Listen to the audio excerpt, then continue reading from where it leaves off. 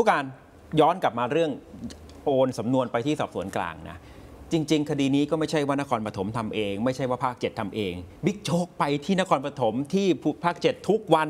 แถลงข่าวทุกวันนี่ระดับรองผู้บัญชาการตำรวจแห่งชาติ แล้วบิ๊กโจ๊กเนี่ยจริง ๆ เวลาท่านทำงาน ท่านจะมีทีมสืบทีมสอบของท่านเองด้วยนะใช่ครับมันก็ไม่ใช่ว่าปล่อยให้พื้นที่ทำแล้วจะต้องมานั่งกังวลผู้มีอิทธิพล จริง ๆ แล้วมันมีการเมืองอะไรภายในสำนักงานตำรวจแห่งชาติไหมผู้การช่วยชี้ปเอาระเด็นตอนี้บให้หตน่ออบยง่ายๆว่าการเมืองมา นะฮะบวกกับการตำรวจด้วยนะครับอ่าก็พูดง่ายๆการตำรวจก็คือหมายความว่าภายในกิจการตำรวจเนี่ยมีปัญหาในเรื่องของการเอ่อเข้าไปเอี่ยวหรือเกี่ยวข้องกับการกระทำผิดนะฮะในเชิงเอ่อปริมาณขนาดเยอะขนาดเนี้ยมันไม่ใช่เฉพาะตัวมันเป็นแมสใหญ่นะครับ มันก็กระทบกับองค์กรนะครับงั้นการตำรวจเนี่ยเอ่อเมื่อถ้าเกิดมีการพิสูจน์ทราบหรือความผิดเอ่อเด่นชัดออกมา แล้วไต่ระดับเข้าไปหรือค้นหาความจริงได้เนี่ยมันทำให้การตำรวจนั้นเสียหาย นะครับส่วนการเมืองนั้นเป็นเรื่องปกติของการเมืองของการไฟท์กันระหว่างเออรองสองรองนะครับที่เกี่ยวข้อง ชุดของรองโจ๊กเนี่ยก็เป็นชุดที่มีฝีมือ เพราะว่าเข้าไปทั้งสืบทั้งสอบ เข้าไปเก็บตั้งแต่แรกแรกเข้าครับแล้วไปค้นหาของที่หายไปอีกนะครับ ก็เป็นฝีมือจริงๆนะครับ ตั้งแต่หนึ่งอาวุธปืนที่ใช้เอ่อสองภาพที่ได้มานะครับ แล้วก็ เข้าไปดูที่เกิดเหตุ จนครบถ้วนจนสามารถเก็บพยานหลักฐานนั้นเข้าสู่สำนวนตอนนี้การเก็บนั่นน่ะเป็นสิ่งสำคัญนะครับว่าบัญชีที่ส่งไป หรือคำให้การพยานคำให้การการค้นหาของพยานวัตถุต่างๆเนี่ยได้มาเนี่ยชอบด้วยกฎหมาย ไม่มีการปนเปื้อนอมีความบริสุทธิ์อย่างชัดเจน แล้วสามารถไต่ระดับได้ ถ้าครั้งสุดท้ายเนี่ยผมยังไม่รู้ว่าเขาเปิดกล้องแล้วเขาทำ layer เฉพาะตัวเหมือนที่ท่านอัยการว่าหรือยัง คือเฉพาะคนเนี่ยเวลาอัยการสืบบนศาลเนี่ยจะสืบแล้วมีทนายจำเลยเฉพาะคน งั้นการกล่าวหาหนึ่งคนเนี่ยจะต้องมีองค์ประกอบครบถ้วน ณจุดที่เห็นตั้งแต่แรกและเข้าไปร่วมเนี่ยตั้งแต่กริยาก่อนเข้าที่เกิดเหตุ ขณะเกิดเหตุทำอะไร แล้วหลังเกิดเหตุทำอะไรครับจนครบถ้วนนั่นคืออัยการจะต้องสอบแบบนั้นไอ้ตรงเนี้ยบิ๊กโจ๊กทำไว้ก่อนส่งสำนวนไหมอืมแต่ถ้าไม่ทำเนี่ยชุดกองปราบมาถึงบอกว่า ไม่เอาดีกว่าเอ่อรับมาเฉพาะคดีฆ่าคนตายไม่เกี่ยวข้องกับการสืบหนึ่งหนึ่งหนึ่งห้าเจ็ด157ก็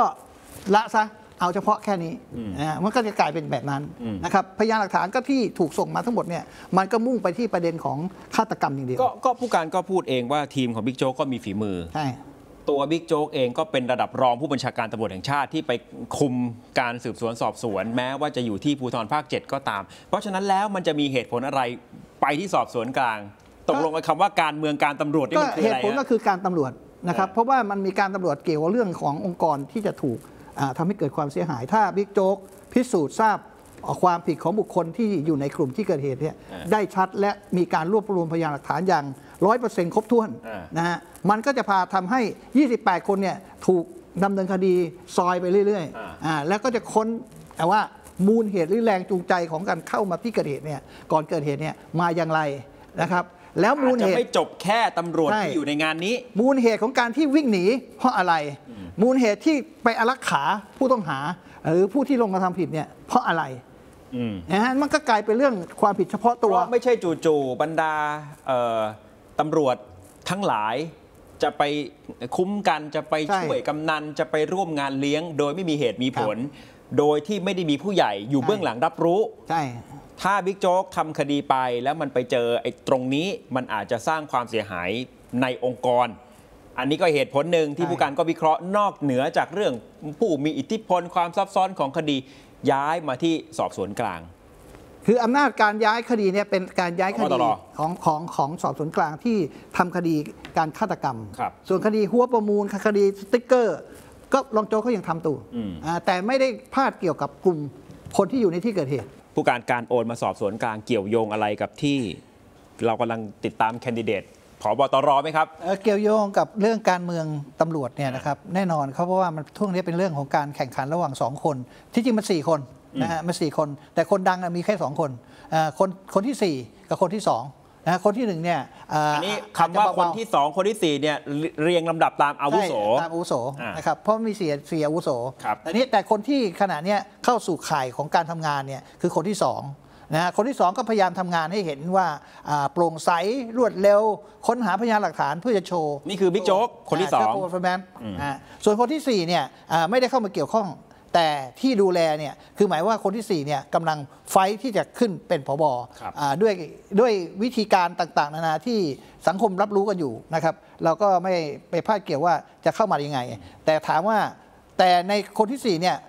เป็นคนที่ดูแลอยู่ในข้าราชการที่มีเรื่องนี้อยู่ในนี้ซะส่วนใหญ่ เพราะมาจากบชกเดิมนะครับ ซึ่งเป็นสายเดิมแล้วก็ประกบกับตัวพุ่งกับ ก็เคยเป็นลูกลูกน้องใต้กำชาด้วย ในสายสายการบังคับบัญชาที่อยู่ในกองกำกับการเดิม มันก็เลยการเป็นการอ่าเขาเรียกกลบเกลี่ยมกัน ระหว่างผู้นำสองคนนะครับ คนหนึ่งก็พยายามที่จะทำให้เกิดความเห็นว่าเนี่ยมัน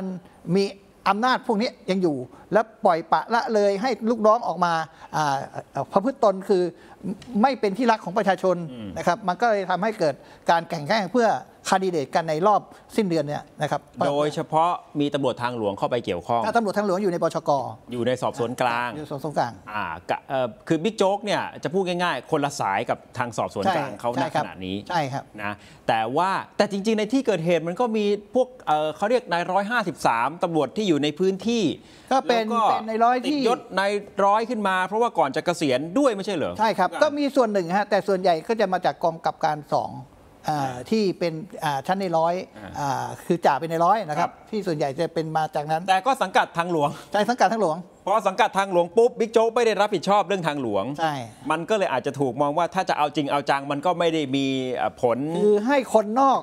ในหน่วยนั้นมาสอบนะฮะอ่ามาสืบในการดำเนินคดีเนี่ยอ่า ก็ทำด้วยความรวดเร็วและโปร่งใสและรุนแรง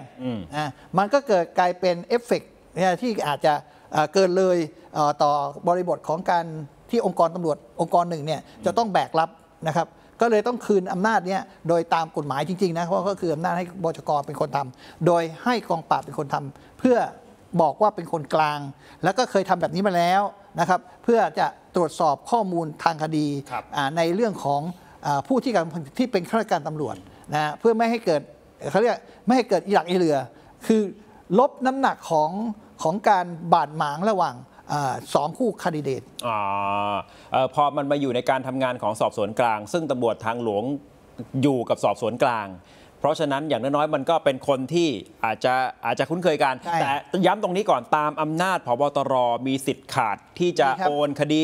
ตรงไปเป๊ะอยู่นะฮะตรงไหนยังไงก็ได้ ไม่ผิดเลยไม่ผิดครับ ที่สอบสวนกลางเพียงแต่ว่า พอมันในจังหวะที่มันมีการเมืองในสำนักงานตำรวจแห่งชาติ เราก็อดจะคิดวิเคราะห์ไม่ได้ใช่ไหมผู้การว่ามันเกี่ยวข้องกับการที่จะขึ้นตำแหน่ง สู่ตำแหน่งสูงสุด อะไรในช่วงนี้หรือเปล่า เพราะต้องยอมรับว่าคดีนี้คนสนใจเยอะ มันก็เห็นบทบาทโดดเด่น